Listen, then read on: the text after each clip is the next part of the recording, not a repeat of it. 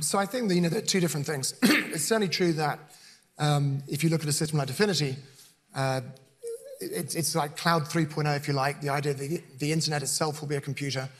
Um, companies may like that because they don't have to um, add a dependency like Amazon Web Services or Google Cloud and so, on, and so on. But there are other advantages that the blockchain computer, the internet computer, if you like, will bring. And some of these include, um, uh, you know, the ability to reduce the total cost of IT um, through reducing the human capital involved. And I, I think that's a general challenge right the way across society, you know, that automation can put people out of work. It doesn't mean probably that the technology should be made worse. Um, it means that policymakers need to consider, um, you know, how to um, deliver full employment. I think the Scandinavian countries are probably yes. leading the way in that. Inga, what about from yeah, your point of view as a company? What's your well, responsibility? Not to say from a company, but from a, a, a being a human, mm. being a person. I started in insurance 36 years ago.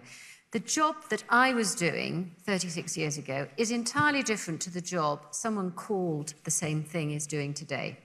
So I can see just in my sector how those jobs have changed. So I'm not so gloomy. I think jobs will be different.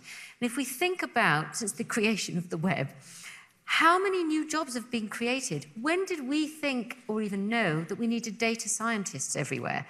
So I'm not so pessimistic about jobs just, um, employment just falling away.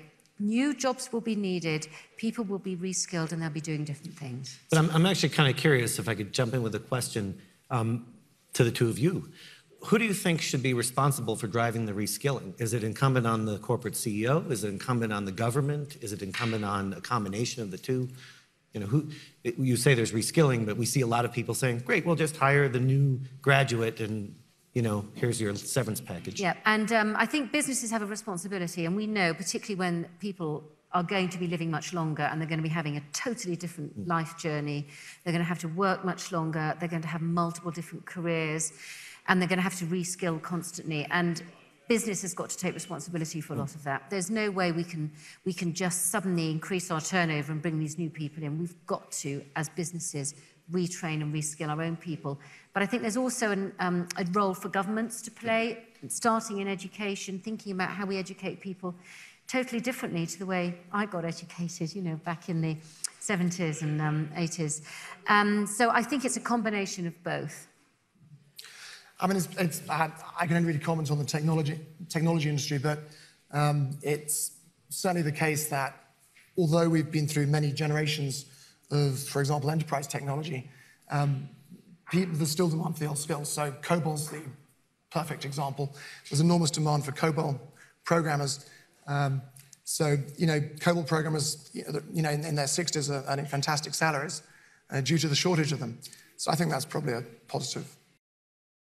Hey there, thanks for checking out CNBC on YouTube. Be sure to subscribe to stay up to date on all of the day's biggest stories. You can also click on any of the videos around me to watch the latest from CNBC.